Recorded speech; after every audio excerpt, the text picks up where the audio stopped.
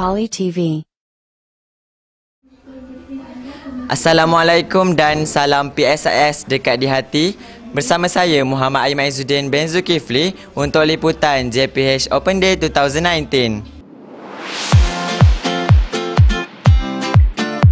Program ini dianjurkan oleh Jabatan Pelancongan dan Hospitality telah dirasmikan oleh Ustaz Muhammad Asri bin Abdullah Timbalan Pengarah Majlis Alal Malaysia dan aktiviti ini merangkumkan menjadi satu program iaitu JPH Open Day 2019.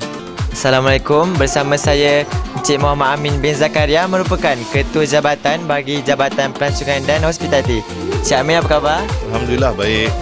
Okey Encik Amin, uh, boleh Encik Amin terangkan apakah objektif bagi program JPH Open Day yang diadakan pada hari ini dan apakah harapan Encik Amin program ini di masa akan datang? Okay. Uh, selamat petang. Objektif utama bagi uh, program yang diadakan pada dua hari ini, semalam dan hari ini adalah untuk yang pertama kita nak mendedahkan eh, dipanggil Halal Awareness Campaign. Dalam uh, untuk memberi pendedahan halal ini kepada seluruh warga PSIS uh, jadi kita mengadakan program-program sangkutan yang bersama tidak kurang 8 acara yang ada selama 2 hari.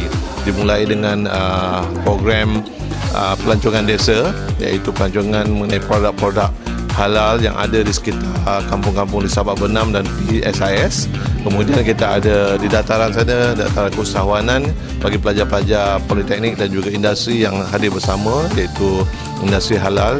Jadi uh, di situ juga uh, mereka pada petang ini memberikan uh, input-input uh, isu dan cabaran bagi uh, industri-industri atau tenaga-tenaga uh, yang kita panggil um, pemain industri halal ini uh, dalam usaha memartabatkan industri halal Malaysia dan harapan saya pada masa-masa akan datang kalau boleh kita akan dapat lebih ramai lagi industri-industri yang akan turut sama dalam uh, kita boleh katakan pesta halal PSIS iaitu uh, kita nak cuba bawa Nestle yang lebih besar lagi dan juga industri-industri lain itu saja daripada saya. Seterusnya bersama saya merupakan pengunjung bagi program JP Open Day 2019 iaitu pelajar Jabatan Pelancongan dan Hospitality. Baiklah saudari, boleh saudari memberi pendapat berkenaan dengan program JP Open Day yang diadakan pada hari ini? Baiklah, saya sebagai warga Jabatan Pelancongan dan Hospitality, um, pada pendapat saya, uh, program JPH Open Day ini merapatkan hubungan silaturahim antara jabatan di mana DUP dan DHF. Cadangan saya pada masa hadapan adalah agar Jabatan Pelancongan dan Hospitality dapat melakukan lagi program besar ini pada SEM-SEM yang akan datang.